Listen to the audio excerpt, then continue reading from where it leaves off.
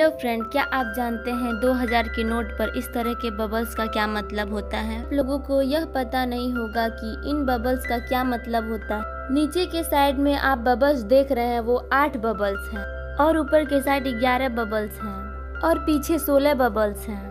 इसका मतलब है 8 नवंबर 2016 फ्रेंड ये वही डेट है जब हज़ार और पाँच सौ का नोट बदल कर दो हज़ार और पाँच सौ का नोट आया था। हाँ ये वही डेट है जब हमारी करेंसी बदल कर नए नोट आए थे।